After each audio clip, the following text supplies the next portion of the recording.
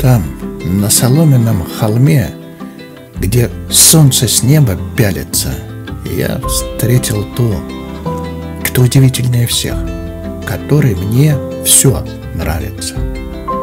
Мне нравится, как она идет, и не слышал, как она поет, но очень, как по утрам проснувшись, улыбается. И на соломенном холме, где желтый шар покатится, я посижу. Уж очень ту, которую узнал,